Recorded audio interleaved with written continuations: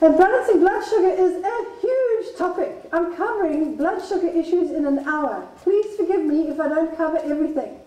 If you want to study to be an endocrinologist, which is a doctor that studies specific disorders relating to blood sugar, you have to first study seven years to be a medical doctor, and then you've got to do another three years. Now, I'm not an endocrinologist, okay? I'm looking at it from a totally different perspective.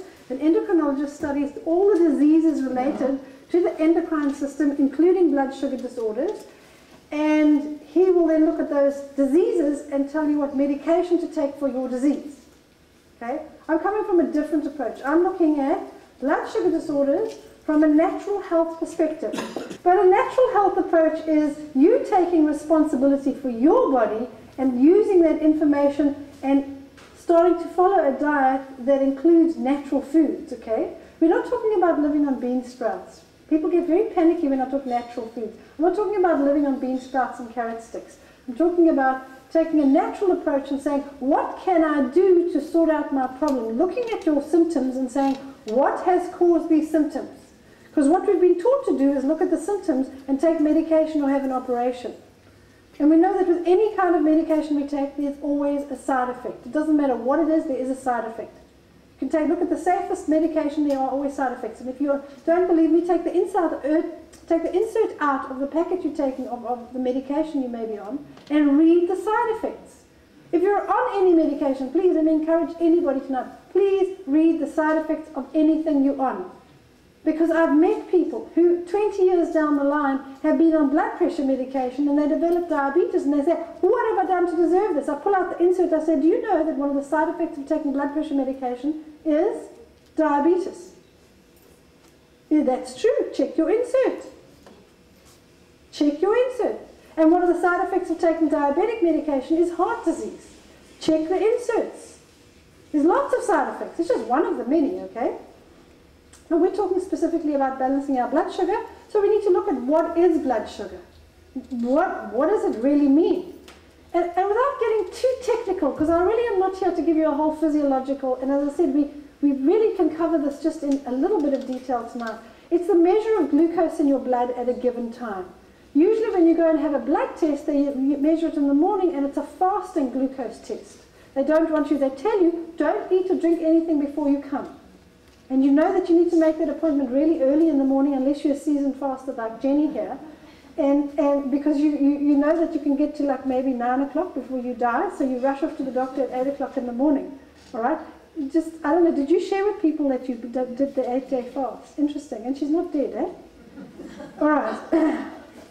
people are so panic stricken about their food. All right. I'm not telling you to all go off at fast, so just relax, okay? Blood sugar level which is basically the amount of glucose in the blood. And it's usually me measured in what's called millimoles. Okay?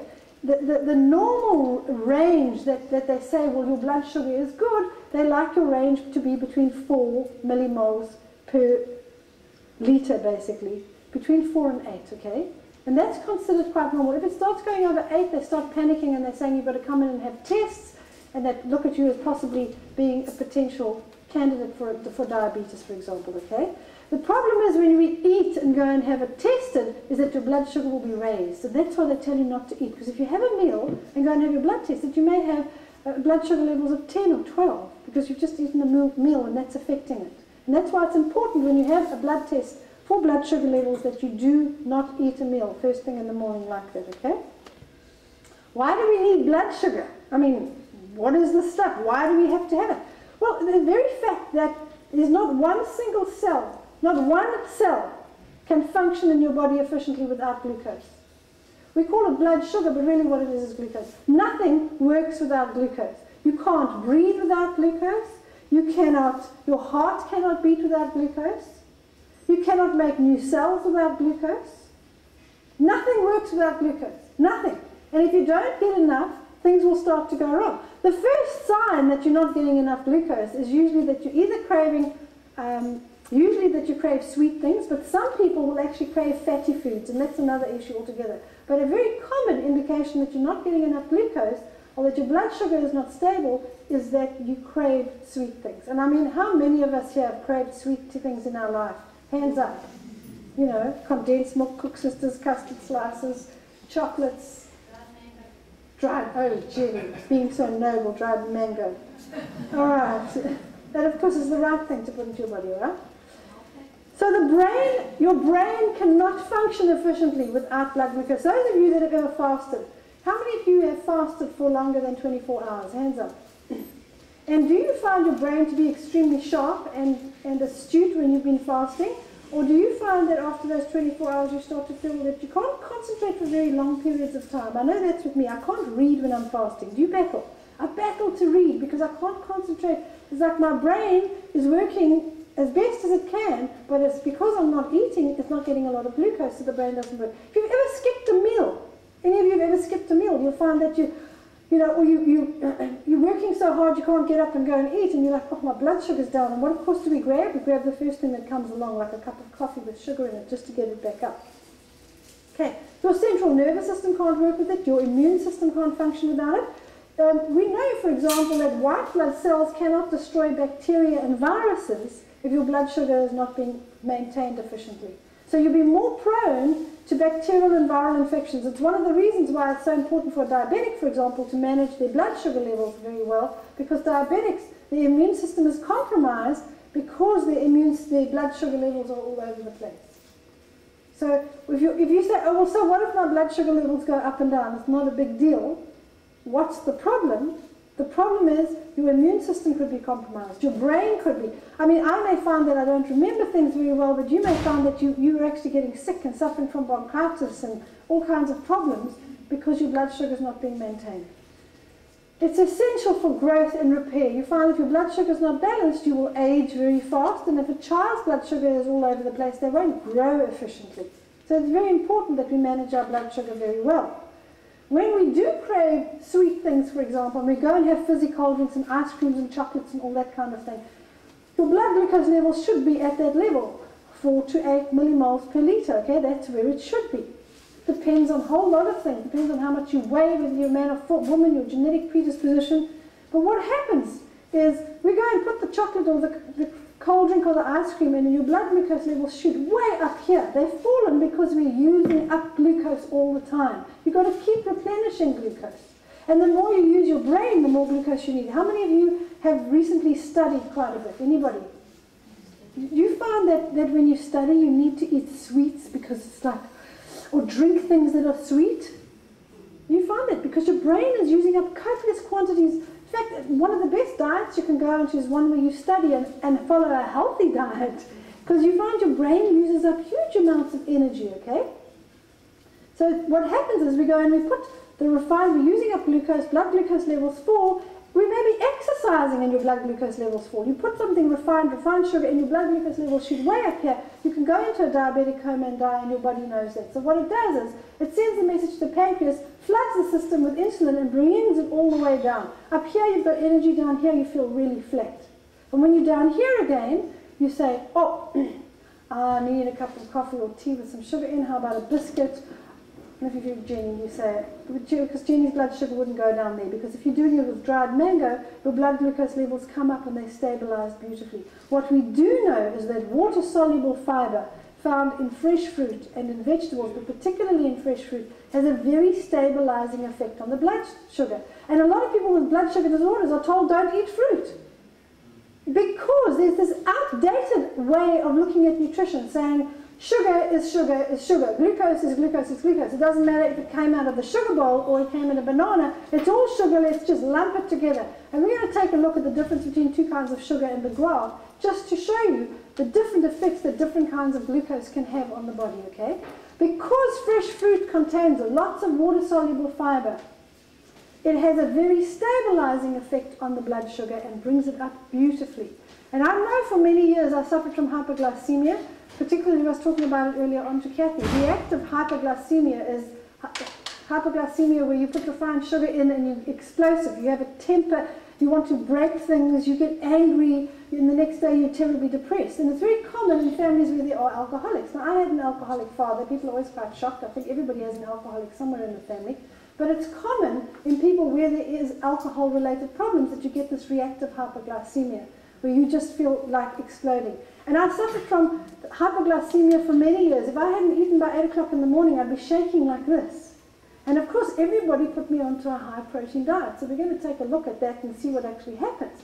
We find out, for example, that high protein actually raises blood glucose levels, and that's why they do it. But in the long term, a high protein diet damages the, this very system that controls your blood sugar. So I went on all these crazy diets, high protein, eating little protein meals, and none of it ever helped me. I just always find I had this blood sugar problem. I always craved sweet things until I started eating fresh fruit on a regular basis. Particularly when I have fresh fruit with my nuts for breakfast, it's very stable because I'm getting the fats and the proteins with it at, at the same time. Okay, let's take a look at it. What controls blood sugar? Okay, you have you may have heard, heard of this, the islets of Langerhans. Now Langerhans was a scientist. I forget his first name, but he was the scientist that discovered these cells that secrete.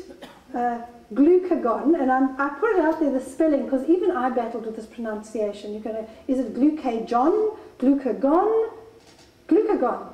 That's how the textbooks actually spell it out, okay? So if you're ever confused, the islets of Langerhans are cells in, in the pancreas, and they produce either these beta or alpha cells. And the one group produces, your beta cells produce the glucagon, and the um, alpha cells, oh, sorry, the alpha cells and the insulin producing beta cells. Sorry, I'm getting mixed up myself.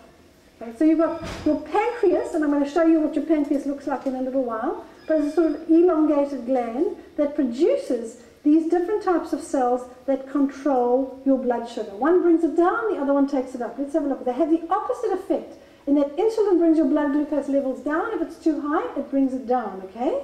And when it's down and it's down too low, you, you get the glucagon, which is, is secreted, and that raises your blood sugar levels. But of course, we go and help it along with a whole bunch of refined sugar, usually, or uh, if you want a double sort of whammy on your blood sugar, you have caffeine and sugar together. A triple whammy is caffeine, sugar, and alcohol. You know. Okay. Now, adrenaline, which is also known as epinephrine, is produced by your adrenal glands. They sit on top of your kidneys. I'll take a look at them now and show you what they look like. Is also involved in blood sugar regulation, particularly during stress. Now, most of us in the society we live in today are stressed. We just drove here in traffic, that'll stress you out. Last night's storm was stressful. That's not normal, but stress is just driving in traffic, going to work, dealing with people is stressful, okay? So you could find out that you actually have adrenaline pumping all day long and it's interfering with blood sugar levels. You may find that when you get home from work, you're unnaturally exhausted because of the stress that you've encountered at work. You know, if you've had an, an argument with somebody, if you've ever had a real argument or a fight with somebody, you feel completely drained afterwards. And that's particularly what adrenaline does. It sort of pushes your blood sugar levels up. And if you're having that happen all day long at work or with a confrontation, and some people work in a situation where they're confronting somebody all the time, well, I'd say try and find another job if. Because you can't work in a long term in that kind of stress and not develop some health problems, serious blood sugar problems, okay? And let's take a look at it. Here's your pancreas. It's that long gland over here.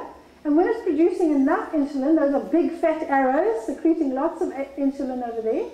And here we have the same pancreas with little small arrows not producing enough, okay? And that's when you end up with a problem like diabetes. There are different types of diabetes. I'm not going to talk about them tonight other than type 1 and type 2.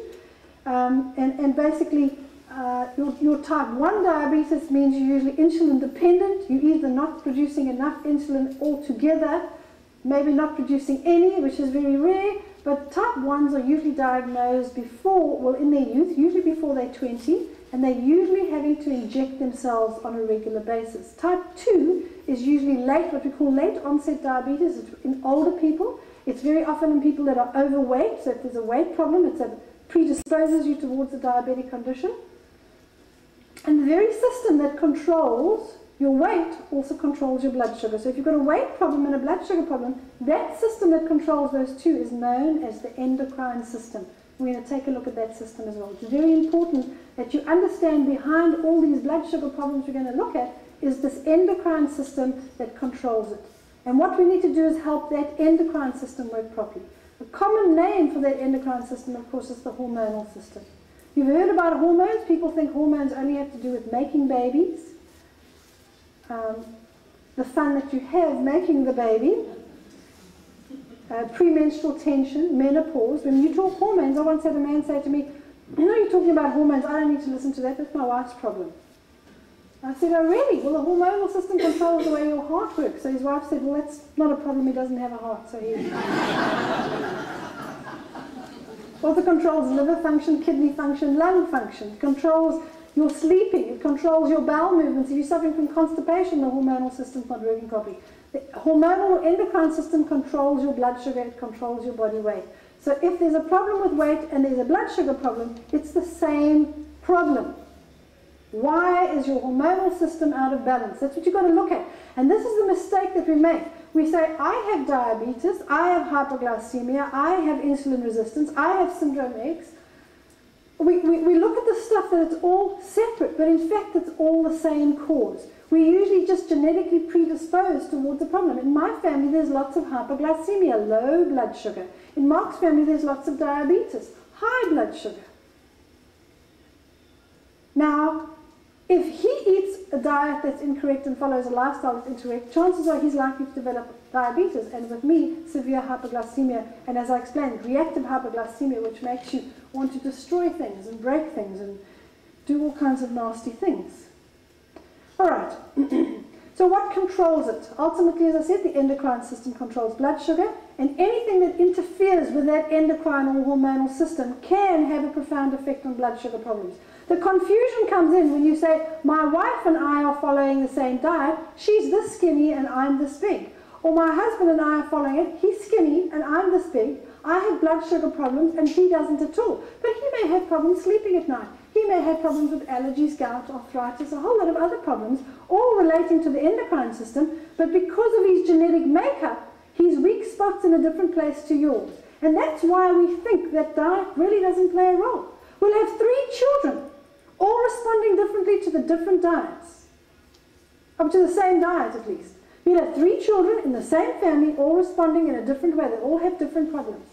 My, my um, children, for example, are dairy intolerant. My oldest daughter, I often use this as an example. Melissa gets tonsillitis when she has um, uh, dairy products on a regular daily basis. My middle daughter gets a runny, streaming nose, never had tonsillitis in her life. And my youngest daughter, Meredith, used to get really bad ear infections if she had dairy in her diet. We all respond very differently. You may have somebody who is hormonal system works in a different way who puts on weight around their hips and somebody else puts it around their waist. Both of them showing that you're not producing the right levels of pituitary hormone, part of the hormonal system, but because of your genetic makeup, you put on weight in different spots, okay? So it depends on your genetic makeup. And I know that you may say, but this is too simple. This is, this is this, I can't get my head around this. I have a different disease. We like to be unique. Part of the reason why everybody responded so well to the blood group type. I'm A type, and you're O type. And then, of course, the ABs and the Bs were so proud to be A, B, and B because there's not so many of them, you know. We like this. We like to have the badge. I know with all my health problems I used to have. It was wonderful when somebody said to me, You've got a um, sensitive constitution. I thought, Great, I've got a badge at last. I've got I can tell everybody. I've got a sensitive constitution. And we tend to be like that. But you must understand it's the same system that's malfunctioning. And we've got to look at that hormonal system. Let's take a look at what it looks like. And you may say, I've hidden all the naughty parts away. Okay pituitary gland and the hypothalamus. Basically, that's your pituitary gland is the size of a pea and it's surrounded by this other gland here called the hypothalamus. And together they are the managing director and the chairman. You could say the hypothalamus is the chairman and the pituitary gland is the managing director. They control the entire hormonal system, okay? You didn't know you had a hormonal gland in your brain, did you? Well, some of you haven't done the course. And, and then you have the thyroid, which is what we're going to be talking about specifically in a couple of weeks' time, is the thyroid gland and the parathyroid glands. But are we talking mainly about the adrenal glands that help you manage blood sugar during stressful times? There they are. They size of two almonds. They sit on top of your kidneys. In Afrikaans, they call them the byniere because the kidney is known as a or nira.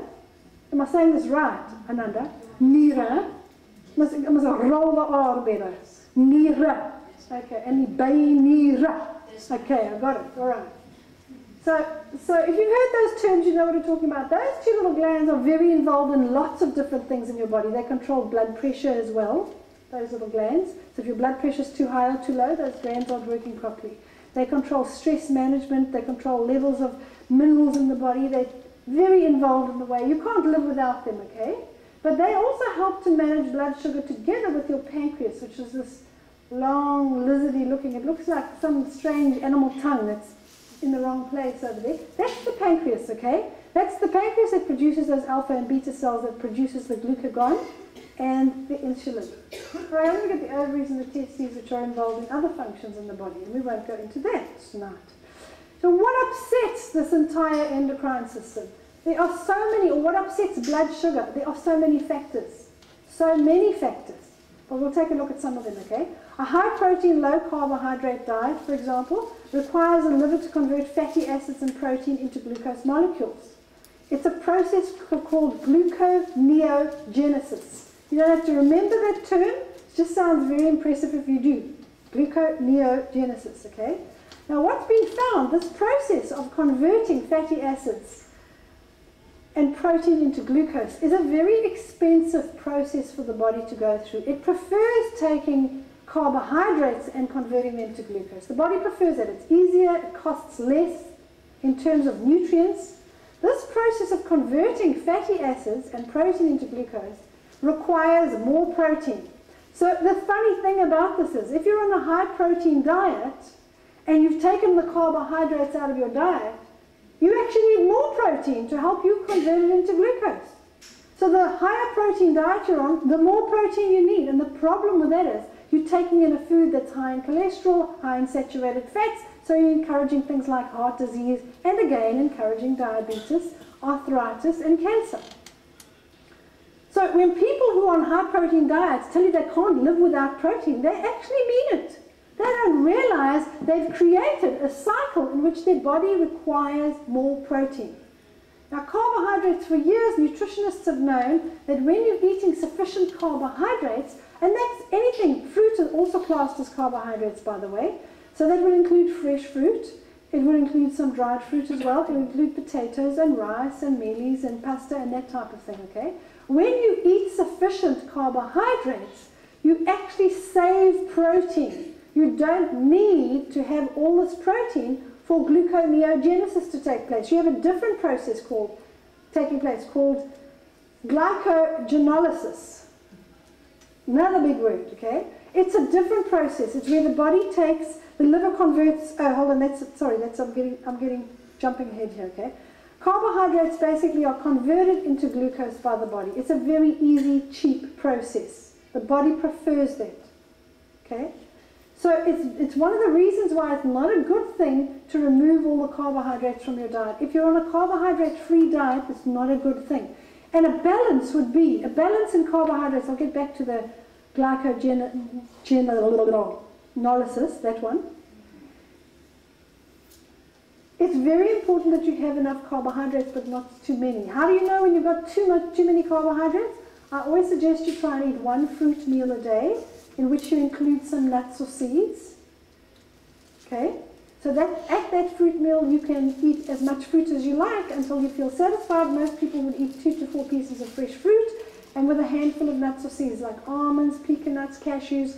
What happens, and we're going to talk about the GL, the glycemic load, and the glycemic index, is with protein and fat, you actually slow down the absorption of that glucose if you think you've got a problem with fresh fruit. Okay? So that's one source. Then in between meals, if you crave sweet things, eat fresh fruit first, okay, or some preservative-free dried fruit. And then have one other carbohydrate meal where you're not eating fruit. So that would be potatoes or rice or pasta or bread or whatever. What we've all been raised, we've all been taught to eat carbohydrates literally throughout the day. So a lot of us are overdosing on carbohydrates. We wake up in the morning, we have breakfast cereals. And we go to school or we go to work or we're at varsity and we're having sandwiches or hamburgers or hot dogs or bagels or something with more wheat in it, okay? And then for lunch we may have a hamburger or a hot dog or some sandwiches. So now we've had three lots of carbohydrates. Come the mid-afternoon break, what are we having? Some biscuits or some cake or something else. We may have a chocolate with it's more carbohydrates. And then supper time we get home and we'll have some chicken and some potatoes and so we have more carbohydrates. So we're having Excluding fruit, concentrated carbohydrates five times a day, you really shouldn't be having it more than once a day. You run into problems with carbohydrates if you're eating it more than once a day. Now, some of you are looking at me with panic stricken eyes, like, oh, I can't do this. You don't do this overnight. You say, okay, I'm going to replace one carbohydrate meal with fresh fruit. Let me start with breakfast because I'm not really hungry in the morning. And then you go on to um, the mid-morning break and you say, maybe, well, I can't give up my donut there yet, but maybe at lunchtime, instead of having a sandwich, I have a big fresh salad and I'll maybe have some nuts or seeds or have some chicken in it or tuna or something like that. Maybe have a protein meal there. And then have your potatoes at night.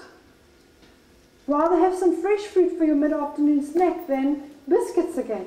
So you do this process slowly, okay? But your goal is to get to a point where you don't have potatoes or rice or pasta more than once a day. You have one of those once a day, but not more than that. Not such a difficult thing. How many of you are already on that process where you're only having carbohydrates once or less a day? Hands up. So you see, there, there, there are quite a lot of people that are doing that already. It's not that difficult. Of course, if you're a very physically active person and you're doing, you know, comrades marathon every other day and you're exercising for three hours a day, you need a lot more carbohydrates than the average person. It's a very different approach then. But we're not talking about exercise tonight, we're just talking about general blood sugar issues, okay? Glycogenolysis is the process by which the liver converts glycogen, which is muscle glucose, into glucose, okay? When you exercise a lot and you're very fit, your muscles store a lot of glycogen, okay? Not glucagon, glycogen, it's a different thing. And, and, and that's why if any of you have ever run a race or walked, done a, a big walk and you haven't trained for it, you get to a point where you hit the wall, you use up all your muscle glucose, and you get disorientated and you don't know where you are. Anybody ever hit the wall exercising? Running? I know Mark has, some of the young guys here, and that happens when you don't train enough by getting fitter, you're giving your muscles the ability to store more glucose more efficiently. And that's part of the reason why we need to get fit, so that we're storing it there. It also helps to maintain blood sugar levels. We'll look at that now. So as your blood sugar falls, the body will release, release, release the glucagon to raise it. High protein meals or diets, a high protein meal or a high protein diet will stimulate the production of this glucagon, okay?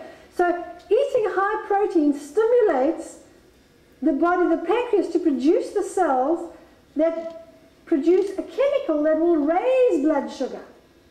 Now, does it make sense if you're diabetic and suffering from high blood sugar, to eat a diet that raises your blood sugar even more. Does it make any sense? It doesn't, and that's what I get so confused about. People that are diabetic and have insulin resistance, for example, and having problems with blood sugar levels that are too high, are put onto high protein diets. I didn't make this stuff up. This is out of medical textbooks. I got them all out, lined them all up, asked Mark on my desk there, checked them all out. They all say the same thing. A high protein diet or a high protein meal where the focus of the meal is on protein will push your blood glucose levels up. Because that's how the body responds to it. And that's just the story. So why do they tell us to go onto high protein diets? I think they don't understand basic physiology. The problem with high protein diets that as much people with hypoglycemia like myself, low blood sugar, are also told to go onto high protein diets. The problem with high protein is in the long term it upsets the hormonal system, which is the system that controls blood sugar. I'm not telling you to be a vegetarian, okay? But eating protein five times a day is not going to help your blood sugar in the long term. It may make you feel marginally better, and even some people say they feel fantastic in the beginning. But in the long term, your problem gets worse, and if you're diabetic, you're going to need more insulin. And I've seen people who are type 2 diabetics go from taking pills every day to manage their blood sugar because they're not doing anything else with their diet and exercise, to eventually injecting three to five times a day because they've been put on high protein diets. It stabilize your blood sugar like that? So, it puts long-term stress on this endocrine system. Refined sugar, I've already explained this to you, re results in a sharp rise in blood sugar with corresponding surge of insulin, and this upsets, as I said to you earlier on, the brain, the central nervous system, the immune system, and the endocrine or hormonal system. And depending on where your genetic weak spot is, one of these systems is going to uh, be upset. Sometimes all of them. All right. So you say to yourself, well, I don't use any sugar. I use artificial sweeteners. I drink diet cold drinks. Big deal. The most common sweetener used today is called aspartame. We know it as Canderel, NutraSweet, Equal, Hermesetas. It's in every single diet cold. Read the label. Okay? We know that independent research shows that it can cause epilepsy and headaches. We also know that it can cause neuroendocrine disorders. Now that sounds like a really big word, But neuro just means your central nervous system, endocrine is the hormonal system. You are taking a sweetener that upsets the very system that controls your blood sugar. And I have seen people who are diabetic and cannot maintain their blood sugar levels. They're sitting at 16, taking medication. The blood sugar levels, remember it's not supposed to go over 8, okay? It's at 16, can't manage it. The doctor doesn't know what to do, keeps upping the insulin, gives them more medication. You take out the artificial sweeteners and it takes three days. Because when you have an artificial sweetener in your diet, it does not put your, push your blood sugar up now. If you go and eat, you know, a chocolate as a diabetic, for example, or you go and have um, a fizzy cold drink with eight tablespoons of sugar, nobody told you that's in there, but the average fizzy cold drink's got eight tablespoons of sugar in it, okay? And you go and have that, your blood sugar will go up like virtually immediately. Within a couple of minutes, it will shoot up if you're diabetic, okay? But if you're using an artificial sweetener, it won't do anything to you until tomorrow. Because it has a roundabout effect on your endocrine system, the very system that controls your blood sugar, you are upsetting when you use artificial sweeteners. And this is something that a lot of people can't get their heads around. They don't understand that artificial sweeteners do not help blood sugar disorders. They do not help them. They do not help weight problems. The very system that controls your weight is the system that is upset with artificial sweeteners. So they should be out of your diet. You shouldn't be drinking them. You want to know what to drink? Drink something that con contains natural fruit sugar, no added sugar, and of course your average fruit juice like the Liqui-Fruit or Ceres, a lot of people say it's too sweet for them, so dilute it with water. Put lots of ice cubes in it, and then you'll be fine. Even diabetics I've seen manage very well with Liqui-Fruit or Ceres as long as it's diluted, and they have to monitor how diluted it needs to be according to the way their body responds to it, okay? But it won't upset. Your Liqui-Fruit and your Ceres type juices will not upset your blood sugar. If you're monitoring it properly and you're not drinking like a whole liter of it, okay? If you say, okay, I'm going to start off with that much Liqui-Fruit and top it up with that much water and see how I handle that, or this much if you want to. Some people like to just freeze the Liqui-Fruit or Ceres and put our different ice cubes into the water so it makes the water taste decent. Some people don't like to drink water. But that's one of the ways you can get around it. If you're in a restaurant, you can order, you know, fizzy grape, Appletiser or Grapetiser, for example, and you could dilute that with sparkling mineral water in a, in a restaurant type of environment. Okay, artificial sweeteners also cause epilepsy and headaches. So if you have a history of epilepsy, or you find that you're having moments, as some woman said, she just has these moments where time seems to disappear for a couple of seconds, or continual headaches, it could be from artificial sweeteners. If you have headaches and you can't find out why and you're taking a lot of headache medication, could be because you're using artificial sweeteners. Those are just some of the side effects. This again is independent research. It's not done by the company that makes the artificial sweeteners. Of course, they say their product is harmless. This is independent published research. People like Professor Richard Wurtman, well-known people in the field of nutrition and in health. Olney and Wurtman, I think their names are. Other sweeteners that are available, okay? People say, but I use saccharin. Well, that causes cancer. Well, possibly you won't have blood sugar problems, but you may just get cancer. I'm not sure which is worse. I think I can handle the blood sugar problem. Sorbitol is also known to cause cancer. Both of them are known to cause cancer, particularly in the bladder area. And in fact, in some countries, these sweeteners are not allowed to be used. In, in countries like European countries, where, where controls are very strict with this type of thing, you're not allowed to use any of these sweeteners. You're not allowed to use the previous sweeteners that we had. If we look at the um, previous sweetener, the aspartame, that is, that is not allowed to be used in any prepared foods in certain European countries. You're not allowed to add it to a chocolate. Like you get these diet chocolates that everybody's running around. They got artificial sweeteners. You're not allowed to do that in some European countries. You're only allowed to sell it as an additive, like a, you know, the stuff that looks like sugar, that, or the pills that you put into your drink. You're not allowed to manufacture foods with these artificial sweeteners. So that's how um, strict these controls are. You then also get the what they call the alcohol-based sweeteners. And that are things like mannitol and xylitol. Both are known to cause diarrhea, flatulence, for example. Your mannitol has been implicated in cancer.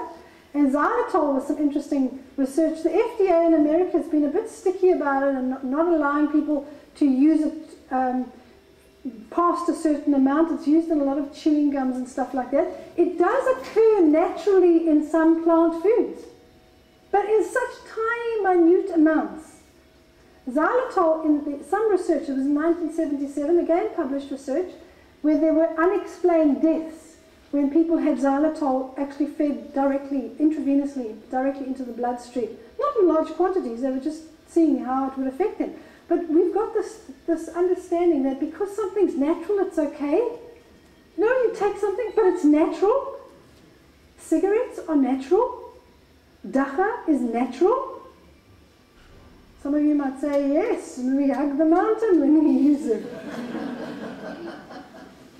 there are a lot of plant substances and extracts out there that can be very harmful to the body. And just because something's natural doesn't necessarily make them good. You've got to look at the independent research, not done by people promoting the product or manufacturing it or anything else.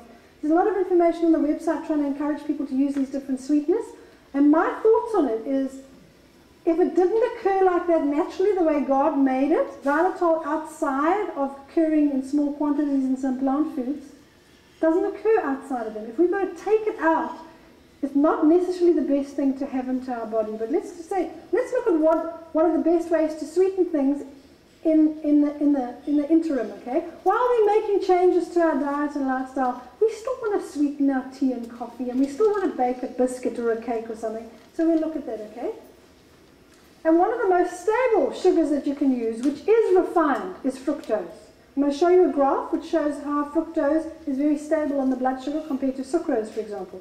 Honey, raw in small quantities, can be um, tolerated by most people. And the raw honey doesn't upset the blood sugar as much as the refined honey. How do you know if it's refined? Usually the label will say raw honey, but not everybody is as noble as everybody else. And so you find it made, but honey usually that never ever crystallizes. You can keep it for 10 years, it's just always fluid. Usually indicates it's been heated, okay? Stevia is a, a, herbal sweetener that a lot of people are using, but the jury is still out on that. There seems to be some indication that stevia can upset the thyroid gland, which showing that it's upsetting the endocrine system. So until I've seen enough people on it for 40 years, I'm not going to say it's okay. It's still extracted from a plant that we don't normally eat anyway. And people are saying, but people have been using it in certain areas for, you know, hundreds of years. Well, I want the actual research because very often there's no proper research. When they say hundreds of years, they mean 10 years. Or maybe it was used by the, the Incas to get high, you know. It was, it was, you know, like these tribes in South America have been using tobacco for years and they seem to be okay. And then so everybody started smoking. And now we know that cigarettes cause all kinds of problems. So the jury's still out on that one. I'm a bit nervous about it. This is an interesting um, diagram here. If you have a look at this very sharp peak over here, this is stable blood glucose. This is in somebody who is not a diabetic, just a normal person who has relatively stable blood glucose. When they put fructose into the blood, that's how the blood sugar peaks. Not a fructose, sucrose. Sucrose, which is cane sugar, okay? It's your normal sugar that you put in your cereals, and it's white or brown, does the same thing. So that's what your sucrose does over there. And this down here is your fructose, or your fructose. This isn't a diabetic over here. The diabetic refined cane sugar will do that, and fructose does that to the blood sugar. In the UK, for example, fructose is sold as a diabetic sweetener, so most people can tolerate it. Fructose is refined. When you look at it in the packet, there's a packet at the back, it's white. It, it, it's supposed to come from fruit, but in fact what they do is they extract it from corn but not genetically modified. Even if it is genetically modified, you only have problems with genetic modification if there's protein in the food, and there's no protein in here. It's 100% carbohydrates.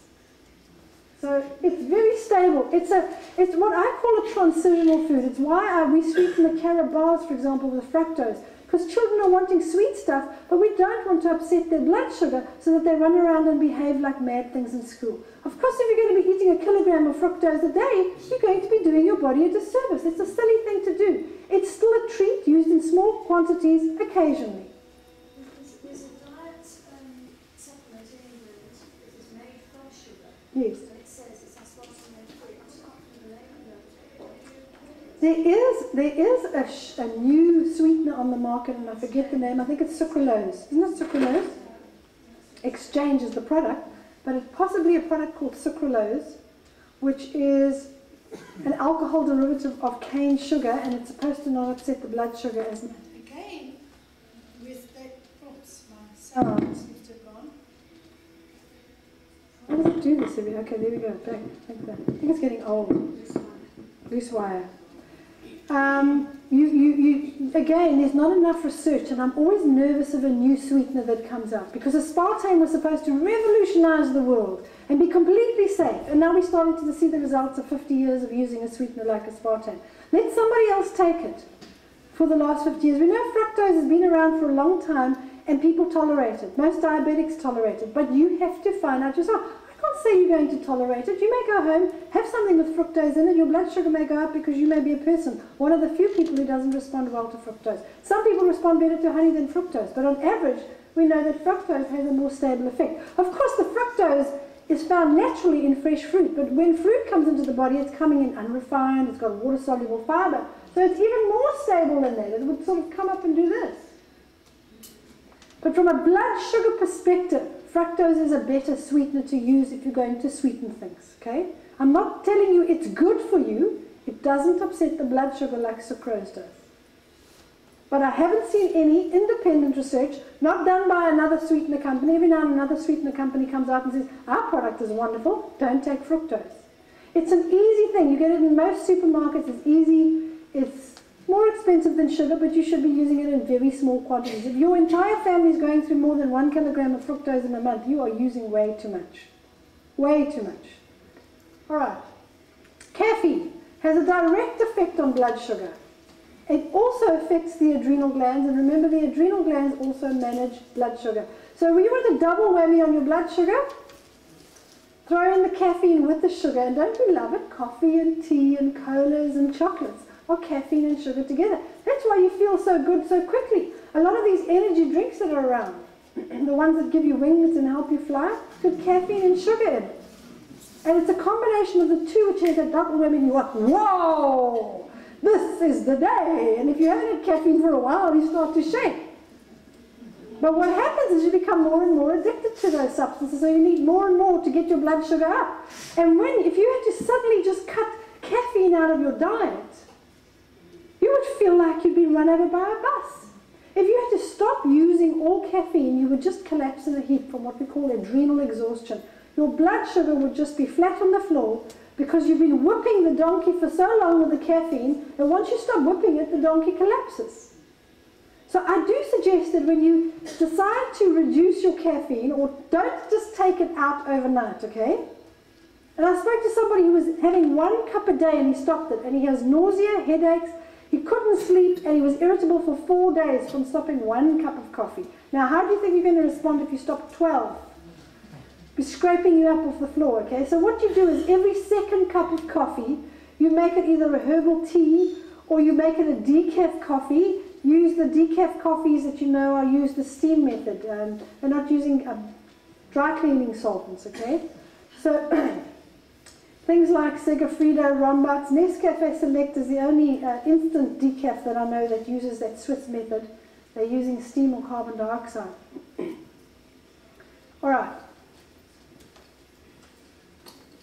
So what you do is, as I said, you replace every second cup of coffee with something else or with decaf, and next month you do every second and every third one, and then every second, third, and fourth one, and eventually you're having you're down to having like one cup of coffee with real caffeine in it, and eventually it becomes easy to remove it. But once you're getting the right nutrients into your body, your blood sugar is more stable, and you don't need the caffeine to come in and whip you. Part of the problem is we work in buildings that are air conditioned. Air conditioning usually gives you 20% less oxygen than what you would get outside. And when your brain is deprived of oxygen levels, you find you're tired. So what do you do in an office when all the workers are tired? You stick in a coffee machine so they can all be awake. And everyone's running around with on coffee. Us, us from caffeine. Some of us get aggressive from sugar and some of us from caffeine. So you may find you kind of walk around with a chip on your shoulder and you're like, you're in the traffic and like blood idiots. And, what, what, you do that without the caffeine. Just play some nice music, okay? All right. So caffeine can contribute to high and low blood sugar and low, low, high and low blood pressure problems. Very often you have a combination of low blood sugar and low blood pressure. Or high blood sugar and high blood pressure, they very often go together. They are all controlled by the hormonal or endocrine system. Don't look at the symptom, look at the system behind it and try and help that system work more efficiently. Alcohol. I'm so sorry to tell you all this. I know we're in the Western Cape. But alcohol has a very profound effect. And if you are a diabetic, if you've got a doctor that's honest with you, he would have said, I'm sorry you can't have any alcohol. But maybe he owns a wine farm and he says a little bit of wine every now and again is okay. Alcohol upsets blood sugar. The mechanism of alcoholic hypoglycemia includes a decrease in glycogen storage. So you store less you store less glucose in your muscles when you drink alcohol. So, sports people, it's not the best thing to do. You actually become unfit by drinking alcohol. You find it more difficult to exercise. It, it decreases the production of glucose. Remember, it decreases the gluconeogenesis, which means your blood sugar levels can't come up as efficiently as they should. And one of the features of alcoholic hypoglycemia is that it, it is prolonged and does not respond to glucagon injections. You can actually take that glucagon which the insulin make, your pancreas makes, and inject it. It won't respond to it. So it will aggravate conditions like insulin resistance, for example. It will aggravate hypoglycemia, low blood sugar. It will aggravate, as well as it, the diabetic condition because initially it will push your blood sugar up. Any diabetic will know if you have alcohol, your blood sugar usually goes up immediately and then it drops down really low afterwards. So you can end up with this problem as a diabetic when you've pushed your blood glucose levels up and you, wow, my blood sugar's up, I better give myself an injection or take some medication. And then because it has this other long-term effect of coming down, you end up becoming hypoglycemic. And it can happen as one person that I know, he just blacked out riding a motorbike. Because he'd now taken too much insulin in medication form to cope with the knock-on effect that the alcohol had. And he had that one drink. One drink did that to him. Terrible car accident. He had his daughter on the motorbike with him. Terrible, terrible car accident. A motorbike accident. Fortunately, he walked away from it alive. All right, gluten. Unfortunately, some people respond very badly to gluten. Now, this research was published quite recently in the last five to six years, the Lancet Journal. If you need the actual references, I can give them to you. But what we has been found is they have actually said categorically in that research that people that suffer from diabetes should be on gluten-free diets because the protein that's found in the grains of wheat and rye, very low quantities in barley and oats, it's not in the grass of the, of the barley, it's in the grain, okay? The gluten found in the grain of the wheat, mainly and, and, and, and, in rye, appears to upset the endocrine system and cause problems with blood glucose levels. And I have seen dramatic changes when people that are diabetic, insulin resistance, syndrome X take gluten out of their diet. It's a sad day, but at least you have potatoes and you've got rice and you've got gluten-free pasta. There's some at the back there, made with rice noodles. They're delicious. They're different types of gluten-free pastas, but the ones made with rice noodles usually keep their shape nicely. They don't just turn into porridge. There are lots of other things that you can eat. You can eat rice cakes and corn thins and all mealies you can eat.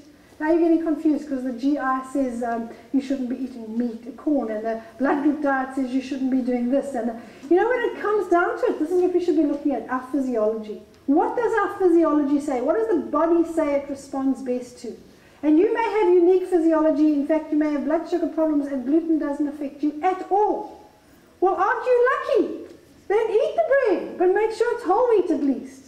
Okay? But if you're serious about regulating your blood sugar, you may have to remove the bread from your diet and the pasta and replace it with rice cakes, potato something or others. There are lots of potato dishes. If you don't know anything to make with potatoes other than frying them and making chips, I've got two recipe books there with over 600 recipes, and at least 100 of those recipes must have potatoes in them. And we'll talk about the glycemic index now on potatoes, okay? Just relax. All right. what helps it, okay?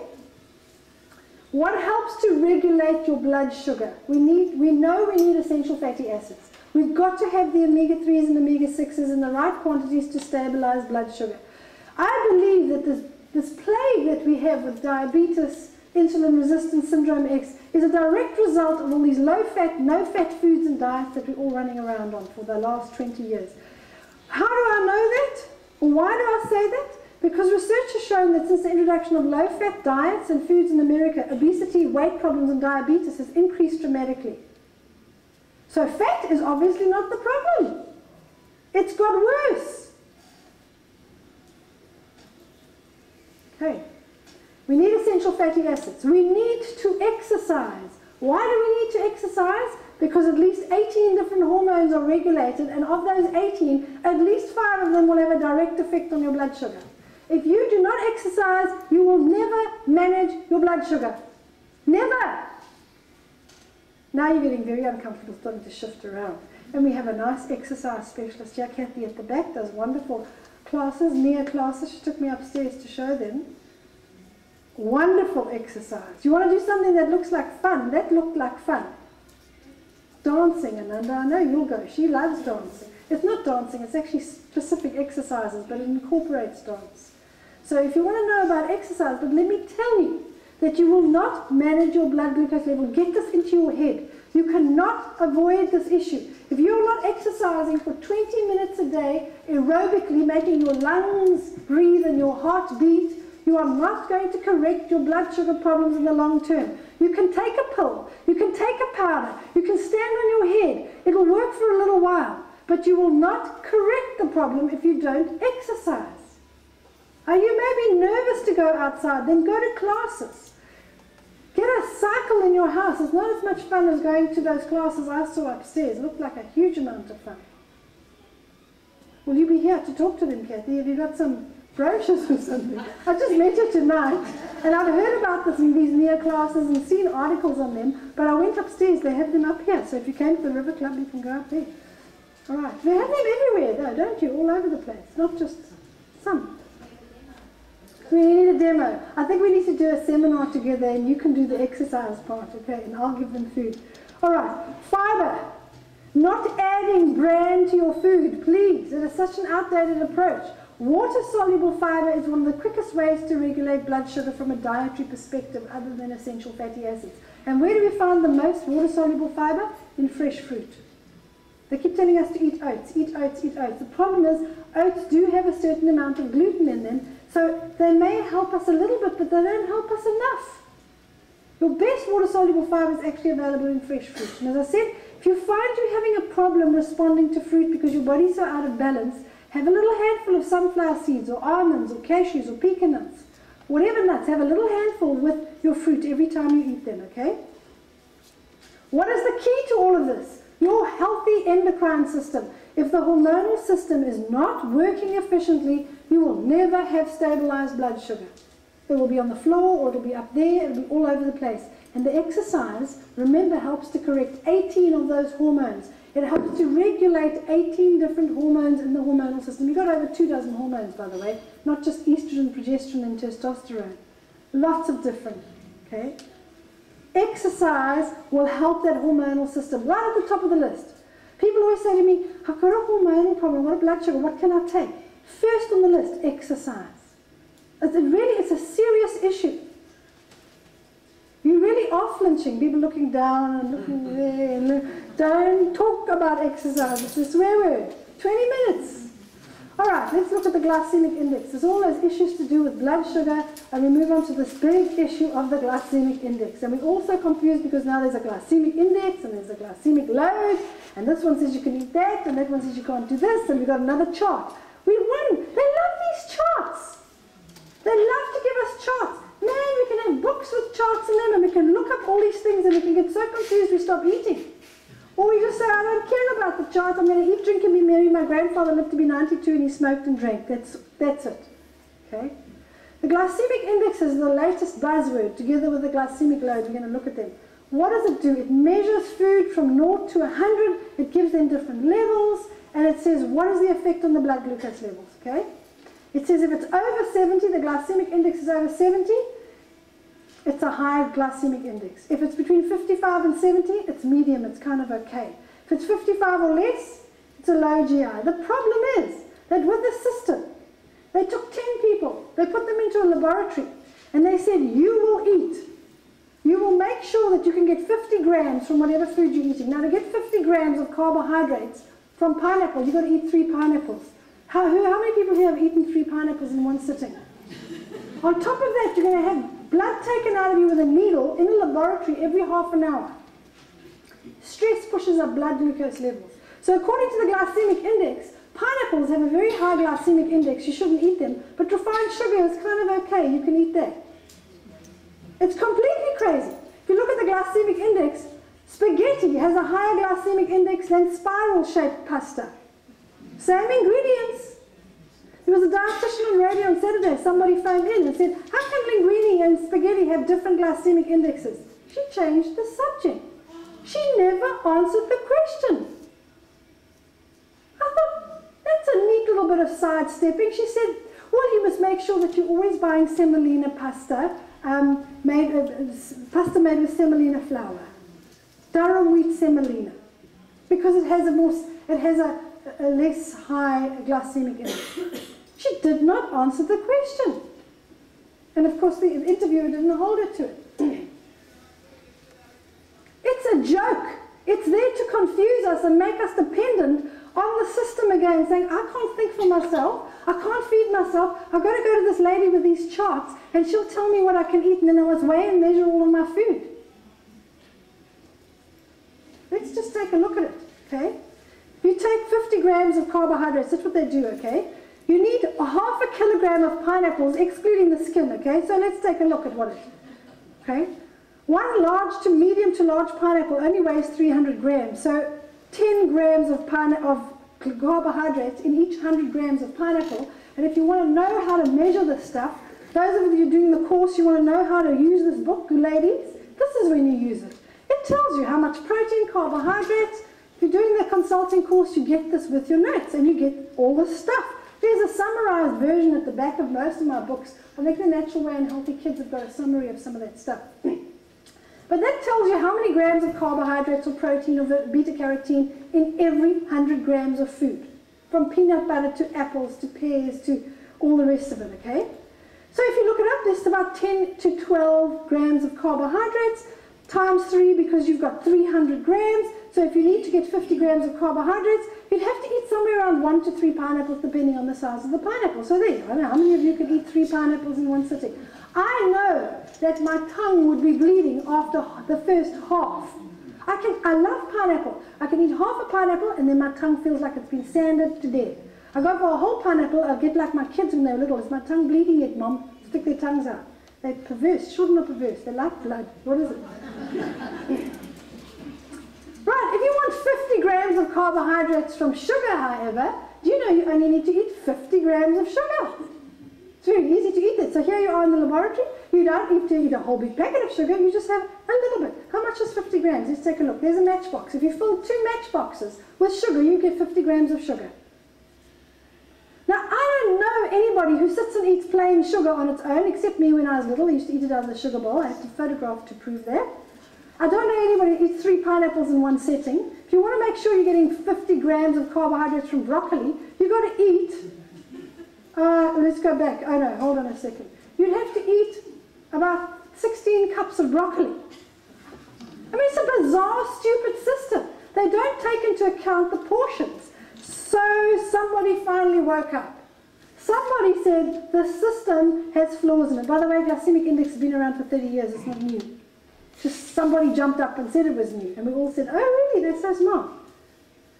So a new organization. So we have a problem. Eating different foods together at the same meal. If you're eating um, pineapples with uh, nuts, for example, what happens then? What's the glycemic index of the pineapple if you're eating it with nuts? Or if you have a fruit salad that's got pineapple, how do you work this glycemic index out when you've got 12 fruits in the fruit salad? So it depends on how much you eat, which foods you mix together, and how, what condition your endocrine system is in. And then they came up with this glycemic load, okay? Glycemic load goes one step further and says, hold on a second, we don't eat three pineapples, we only eat half a pineapple. So now let's work out what the glycemic load of half a pineapple is.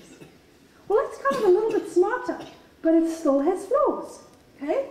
Glycemic load, what they do is they say the glycemic load is equal to the glycemic index times the grams of the carbohydrate. So if you take the glycemic index of pineapples and you multiply it by 75 grams, you'll get what the glycemic load. But how many people sit down and just eat pineapple for lunch?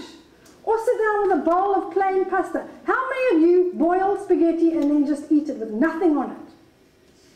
Unless you're a starving student, you're not going to do that, okay? Because students do some weird things. They eat some really strange things. How many of you eat a dry baked potato? Nothing else with it, just a baked potato on a regular basis. You're a strange person. We'll pray for you and understand. Okay? So you might have a, a plain, but most people maybe have a salad beforehand or with it. They'll have some chicken or fish with it. Maybe they'll have some sauce. I mean, for goodness sake, what's nicer than a baked potato with some butter on it? But now you're introducing fat. Or how about some sour cream or a nice tomato, homemade tomato Napolitana sauce on your baked potato? Now you're introducing other nutrients. So how do you work out the glycemic load of that? Well, it's almost impossible unless you go to some fancy nutritionist who's got lots of charts and calculators, and even then, she's going to guess at it because she doesn't know exactly how much you eat in a sit in a in, in one session. So, are you still confused? Because most people are at this point. They really are. Glycemic index, glycemic load, blood the diet. What are we supposed to do? You should be. Jenny said switch off the cell you should be. Okay, none of these systems takes into account that we seldom eat one kind of food at a meal unless you are Adele. None of them take into account that you're going to add fat or oil. For example, if you look at the glycemic index and you eat baked potato, a baked potato has a much higher glycemic index or load than potato chips fried in oil. Why? because you've added oil to the chips, that's all. So take the baked potato and put some butter on it or olive oil, and you bring down the whole glycemic load of that baked potato, that's all.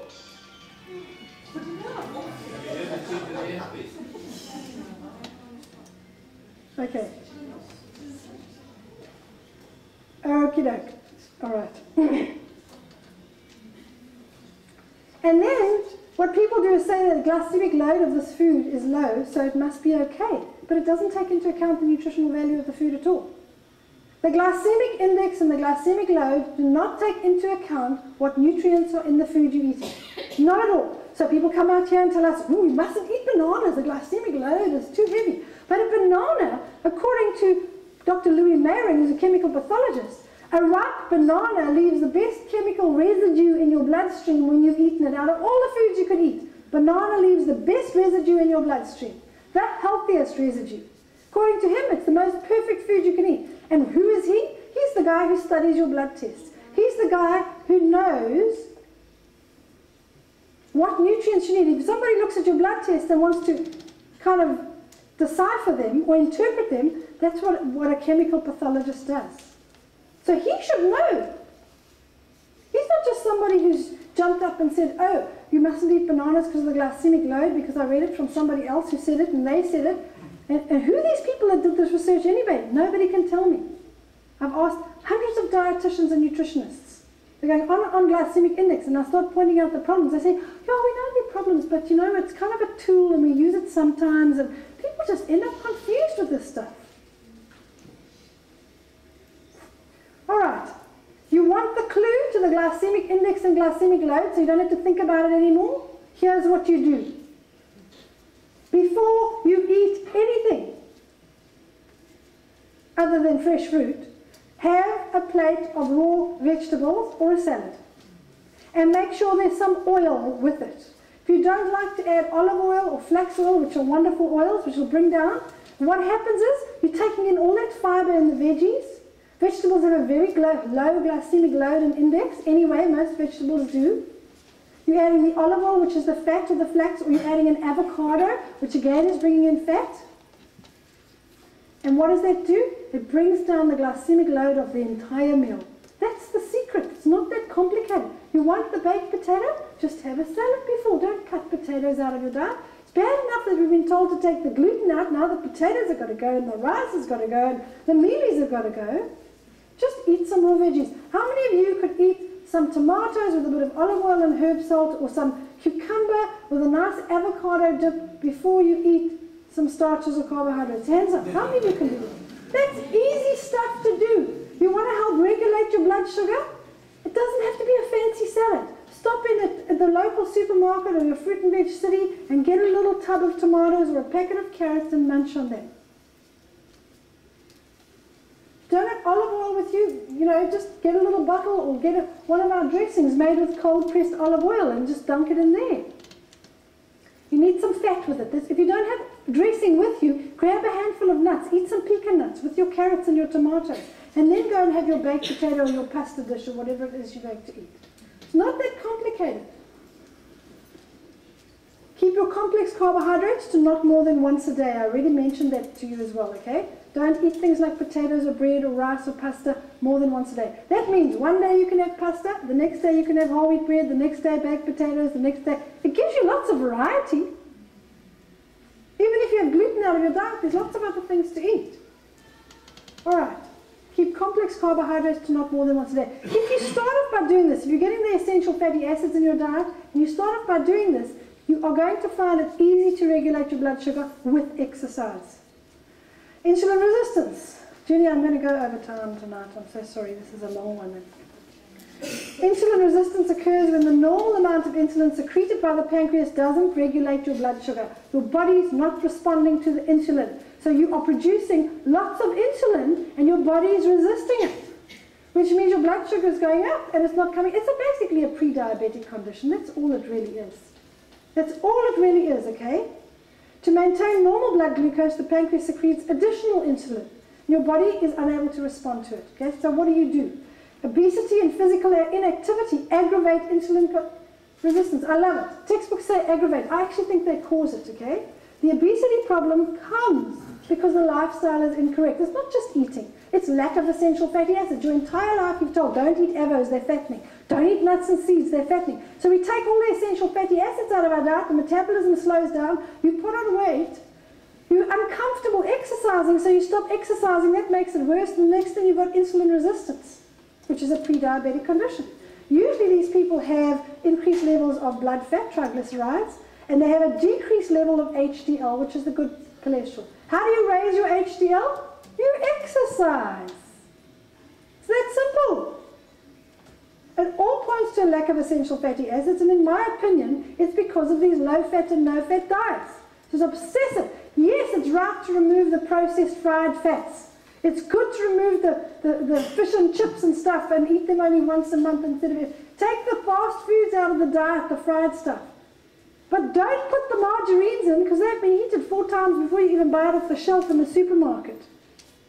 Have a little bit of butter, but rather go for olive oil. Flax oil. Have these fats on a regular basis. They will actually help the endocrine system work better and regulate your blood sugar.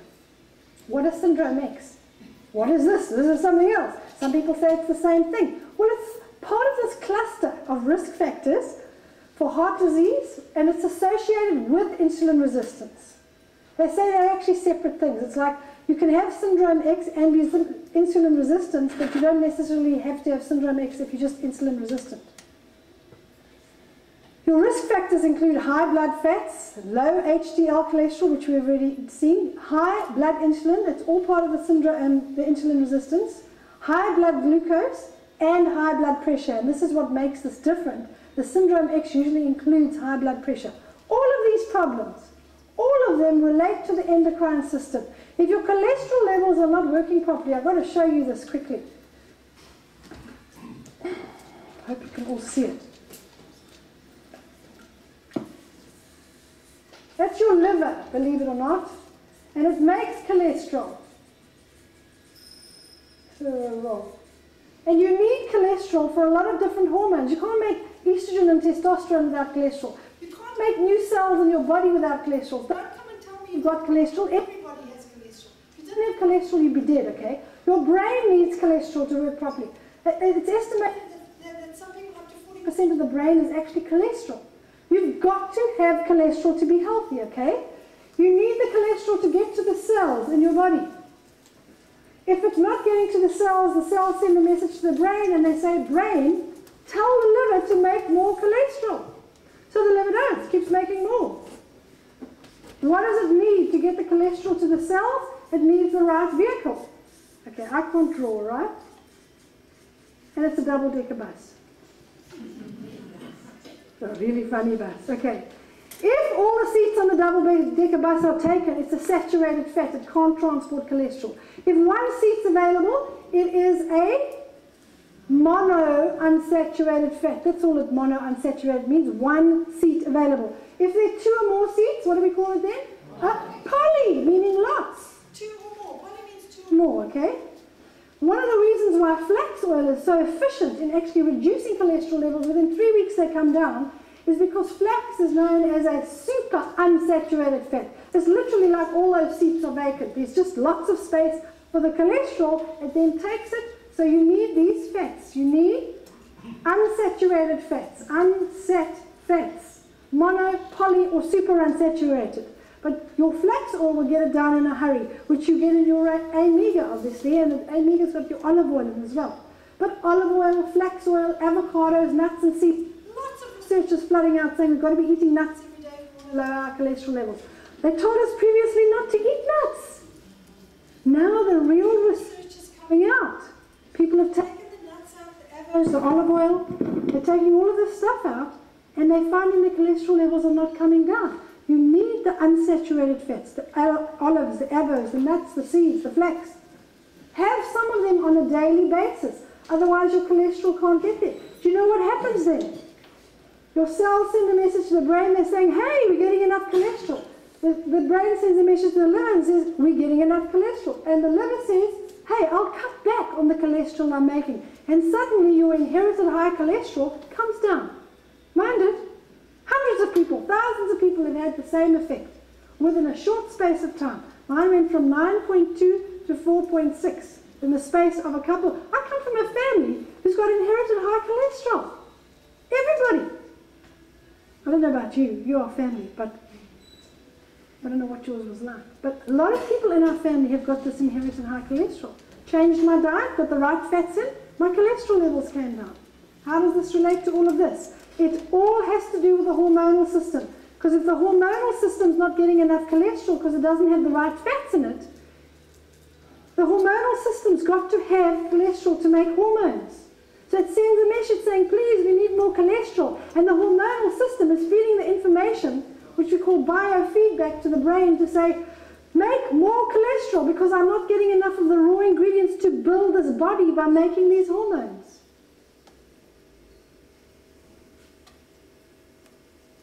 High cholesterol, unbalanced cholesterol levels is usually an indication that your hormonal system is out of balance.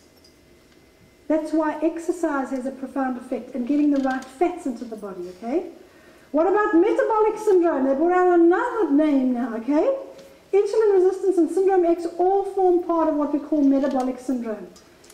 The signs are obese, particularly around the stomach, poor cholesterol profile, high blood sugar, elevated blood pressure, insulin resistance, and clogged arteries. Diabetes and heart disease are just waiting to happen. Women with metabolic syndrome have high androgen. Very often they have facial hair. It's a male hormone. They have high estrogen levels. They have high cortisol levels, resulting in poor memory, low thyroid function, resulting in slow metabolism, sluggish bowels, dry skin, osteoporosis. Men with metabolic syndrome have low testosterone, and a high libido, which means that they don't, I mean, high estrogen. They got no libido. They're poor wives. They say that 50%, you're not part of that, 50% of the men over 40 suffer from erectile dysfunction. If they're suffering from metabolic syndrome, I wouldn't be surprised, okay? It's a problem. And of course, cancer, they're at risk for cancer. Both men and women are more prone to inflammation, and it predisposes you to heart disease, arthritis, gout, and headaches. Not a great place to be, but all indicating that the hormonal system is not working properly because we're not exercising, we're not getting the right fats in our diet, and we're eating incorrectly. We're using artificial sweeteners, we have some coffee and a couple of glasses of wine, and we think that just normal, my dad had diabetes and I've got it and I'll die. Well, if that's what you want, okay? Now, there are some products that I know have helped a lot of people.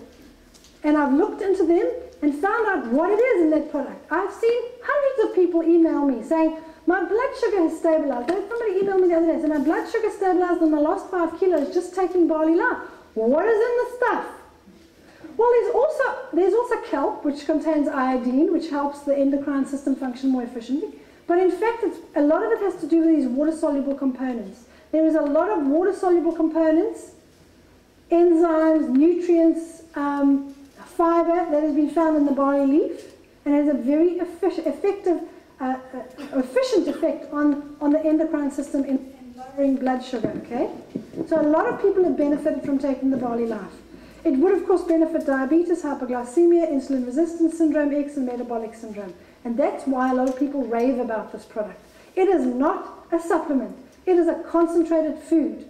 They've taken the juice, they cut the leaves, they juice it in the field, and they take it to the factory and they spray dry it at room temperature basically, and you get this powder, and all they've done is taken the water out of it. So you go and put the water back in, and you've got the barley juice back. You can grow your own if you want to. If you have the time and the inclination to grow your own organically and pick a kilogram every morning so you can juice it, because you need a kilo to get enough, or you can just take two heaped teaspoons of BarleyLife on a daily basis, okay? Another product that AIM has is the Omega, which contains your flax oil. The majority of the oil in here is cold pressed organic flax oil together with cold pressed extra virgin olive oil, okay? You're getting your omega 3, omega 6, omega 9. We need essential fatty acids to stabilize it. This is part of the reason. So we can get the cholesterol to the cells where it can make the right hormones so that we can stabilize our blood sugar levels. That's part of the reason. There are many other reasons essential fatty acids are needed. But your hormonal system does not work without essential fatty acids. And if you're nervous about where am I going to get them, just take a tablespoon or two of omega on a daily basis, okay? Another product that AIM has is a product called glucochrome. A lot of people have been like, what is that stuff? It's really a combination of four substances, chromium, vanadium, bitter melon, and Gymnema sylvestre. Strange words, these. We'll have to look quickly and see what they do. Chromium deficiency can result in three conditions related to blood sugar. High blood sugar levels, an inability of the cells to pick up and use blood sugar, which is basically hypoglycemia, and also the insulin resistance. The chromium needs to come from a plant. If it's just in a tablet, it doesn't work efficiently. And so this chromium that is in the um, glucochrome is actually extracted. It's actually, in fact, they don't even extract it. They take the entire barley plant and grind the whole thing up, but they feed it a lot of chromium because they found that the barley plant, when you put a lot of chromium into the soil, takes up a lot of chromium. So you can actually push up the levels of the chromium in the barley plant. It's an efficient carrier for chromium. So you could take the BarleyLife, but in the, the, the glucochrome is a product that contains a, a, a very high levels of, of chromium in the barley extract. Vanadium may activate insulin receptors, making the cells more receptive to insulin. In fact, it's known or thought to decrease the hypersecretion of insulin, so it helps with insulin resistance. it is uh, tremendous. There's quite a lot of research, and I can give you the actual dates and where it was done if you need it. Bitter melon is a fascinating um, plant. It does much the same as chromium. It improves the processing of insulin, improving your glucose tolerance levels. It's the ability to get the blood sugar into the cells. So chromium helps you get blood sugar into your cells. The bitter melon juice was found to improve glu glucose tolerance by 73% in some standard glucose tolerance tests. Two separate studies showed that bitter lemon fruit to decrease blood sugar levels by 54% and reduce blood sugar by improving glucose utilization by the liver. So it's a fantastic product for diabetics as well. It's anything to do with blood sugar. Bitter melon, just in case you need to know what it looked like. You're not going blind. I couldn't get a clearer picture. We can play with it, but it's not going to get any better, okay? That's kind of what it looks like. I couldn't get a, a picture of the Gymnema sylvestre, but I know that it's a woody climbing plant found in tropical areas. And what that does is it helps to raise insulin levels, thereby lowering blood glucose levels. It's been used with patients suffering from both type 1 and type 2. And studies have shown type 1 diabetic patients that the Gymnema sylvestre extract reduces the insulin requirements and lowers the fasting blood glucose levels. Animal studies have shown that the Gymnema actually increases the number of those islets those cells, the beta and alpha cells that produce the glucagon and the insulin in the cells. So, in fact, they found that in some people, they no longer need to use medication because this stimulates the pancreas to produce the cells that help to control blood sugar. A very powerful plant. It's been used for hundreds of years. In, in, in, I've looked at, there's no side effects to these products. I haven't seen any side effects on them. I did a, a, a complete search. I saw no harmful side effects. I have, however, seen hundreds of people stabilize their blood sugar, deal with appetite problems, weight problems by using the glucochrome. So it is a product. If you, these products are from AIM. If you're not an AIM member, what you need to do is you can ask anybody here who's an AIM member, ask around, there are a whole bunch of them. AIM members, hands up, I'm sure there's lots of you here. Lots. Okay? You can just ask them for the information to become a member. It's 115 Rand. You fax the form through. Tomorrow you place your order. The next day it's at your post office. That's how quick they are. And you're buying it at the wholesale price. A lot of people say, I'll just go and buy it from my friend or I'll go into the shop. I know they sell it. It's actually a direct selling company, so they don't sell it at a lot of shops. And you'll pay a hugely inflated price. So it is better to become a member. Um, does that pay for the rent? Yes. My commercial break over. But look, they are fantastic products. I would never say this. I use the products myself. Don't have blood sugar problems anymore, but if I had, I would definitely use the glucochrome because a lot of people I've put onto it or encouraged them to take it have absolutely raved about this product. Right, other issues. Remember I said exercise regulates 18 hormones. You can't avoid it. Stress does affect blood sugar levels because it affects your adrenal glands. How do you manage your stress? Very briefly, I'm going to give you just three steps. I have a new book coming out that I wrote with Mark. It's coming out on the 1st of May called Take Control. It's all about stress. And believe me, we've had lots of it. We lost everything we owned. Our children have done everything they shouldn't have done. They've all done naughty things, terrible things, stressed us out. And these are our three legs. Mark and I call it our three legs of our stool. Why a three-legged stool? It's the only stool you can milk a cow on on an uneven surface and it doesn't fall over. It's stable on an uneven surface. Four legs and you fall over, okay? We manage our diet, we, manage, we make sure we exercise, and we talk to God every day, and we get Him to talk to us. He doesn't talk audibly to us. We, we read scriptures, and uh, you may think that um, people, some people say religion is the opiate of the people, as far as I'm concerned. Well, give it to me then, because I cannot cope without talking to God on a daily basis. I, we live in a terrible world where terrible things happen, and I'd be permanently depressed if I couldn't talk to God. So that's how I manage my stress, that's how Mark manages, and that's how we got through all the things we got through, okay? If you want extra reading, there's a chapter in my book, Perfect Weight, called Happy Hormones. In fact, the entire book is not about weight, it's about your hormonal system. It's about blood sugar, but there's a specific chapter called Happy Hormones, which deals with the whole endocrine system and how to get it working properly. And Peter has them at the back here. And if you want more information, you can go to our website and you can get a free newsletter or you can get the DVD, the Digimag, okay? Ananda needs to come and cut me off at the knees here